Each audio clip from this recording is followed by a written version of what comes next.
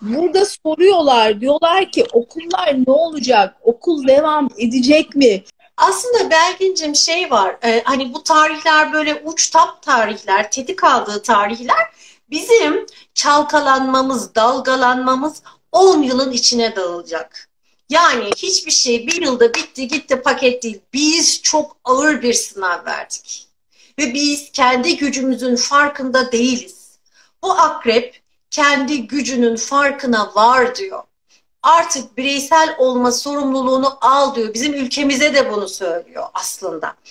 Şimdi e, evet neler olacak kısmında 5 Kasım e, yani 4 Kasım'ı 5 Kasım'a bağlayan gece 00.45'te 12 derece akrepte bir yeni ay var.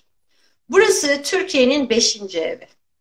Çocuklar, gençler, atılması gereken adımlar, riskler, evdeki hesabın çarşıya uymaması, böyle yavaş yavaş okulların kapanması, işte çocuklarla ilgili sorumlulukların artması, işte e, biraz böyle bilinmez hastalıkların pörtlemesi, gribal enfeksiyonların artması bize bu konuyla ilgili kapanmayla ilgili ilk açılmışı yaptıracak. Yani Kasım 5 dendiği an e, burada biz değişimler, skandallar, e, taciz ve tecavüzle ilgili birçok olayları duyuyor olacağız. Yani burada minik minik konuşmaya başlayacağız.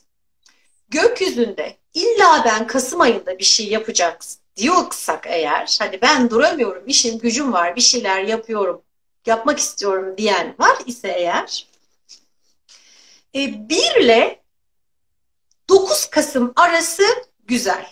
Yani girişimler için, e, harekete geçmek için, sözleşmeler anlaşmak için, küllerimizden doğmak için. Çünkü 5 Kasım'da bir yeni ay var ve bunun enerjisi bir haftadan önce bize önce gelir ve bir hafta sonrasına devam eder. Yeni girişimler, risk almak, işler için 1 ile 9 Kasım arasını kullanabiliriz. Sonra ondan sonra bitti. 6 Kasım civarı Venüs Yay burcundan çıkıp Oğlak burcuna gidiyor.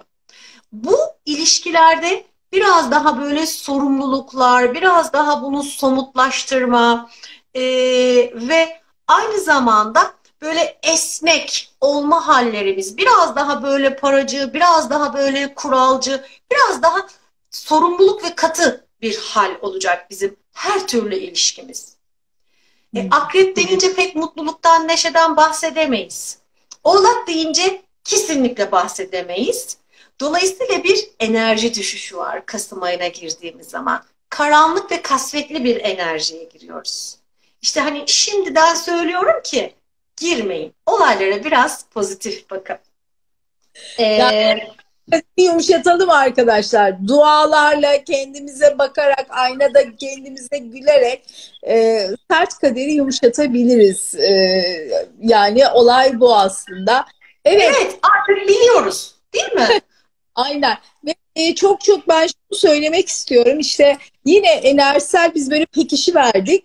E, Bosna'da e, 1-3 Kasım işte e, denildik böyle bir his, duru görü.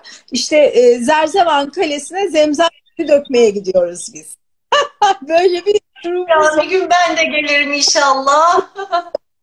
5 Kasım'da Rebüel evvel ayının bitimi aslında. Bak sen de diyorsun ki e, 4 ve 5 Kasım yeni ay. Ne kadar ne kadar e, Ay işte diken diken oldu. Matematik anlatamam. Orada dualarımızda olacaksın.